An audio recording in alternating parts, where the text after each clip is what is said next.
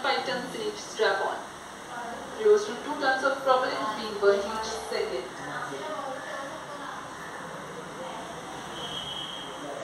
S strap on boosters का प्रज्वलन काल 126 सेकंड का है और अभी अभी घोषणा की गई L110 स्टेज का भी प्रज्वलन शुरू हो चुका है Apart from the strap-ons, the core stage has also commenced its operation. This stage, based on combination of hyperbolic earth storable liquid propellant UHP सोळा मिनटं आहे total time Now the S200s have been सोळा separated. मिनिटं total time त्याला स्पेसमध्ये पोचायचं आहे घटनाक्रम के अनुसार यह यान ये इस यान से S400 स्टेपॉन बूस्टर्स को सफलतापूर्वक पृथक कर दिया गया है। यह काम सेपरेशन मोटर्स की मदद से किया जाता है। इसके बाद L110 तरल नोजल पर आधारित और विकास इंजन के साथ यह चरण सामान्य निष्पादन करता हुआ अपने उद्दिष्ट कक्षा की ओर बढ़ रहा है।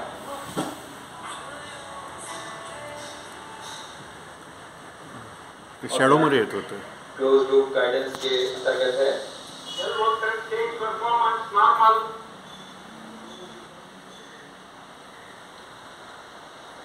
The trajectory of launch vehicle is closely following the prediction. Payload pairing separated. यहाँ पेलोड टेयरिंग को पृथक कर दिया गया है यान से क्योंकि यान अब 114.8 किलोमीटर की ऊंचाई प्राप्त कर चुका है इस चरण का कुल प्रज्वलन काल 200 सेकेंड होता है और इस दौरान यह करीब 1600 किलो न्यूटन का प्रणोद उत्पन्न करता है We 220 seconds past the launch time. Current altitude is 135 kilometers. In the 200 seconds of its operation, the L110 stage carries the rocket at 275.5 kilometers altitude and imparts a relative velocity of 4.18 kilometers per second. That is 250 kilometers every minute.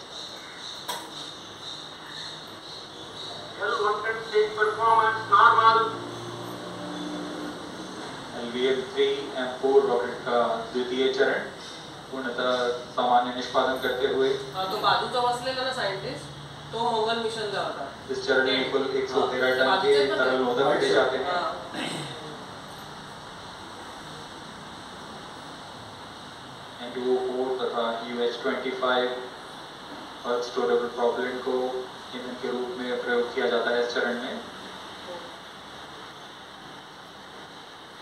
One sixty five kilometre गेलं पण ते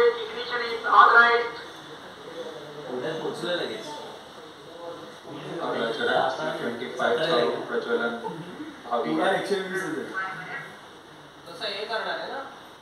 है तसं हे करणार आहे ना हा नंतर ते एकदाच याच्यात गेलं वरती कक्षेत गेला गेलं की ते फिरेल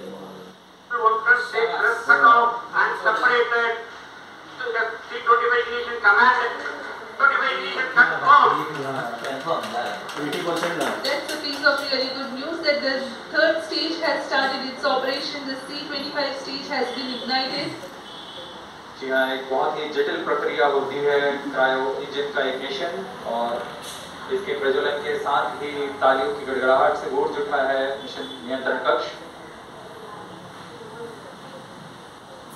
चरण सी ट्वेंटी फाइव वर्तमान में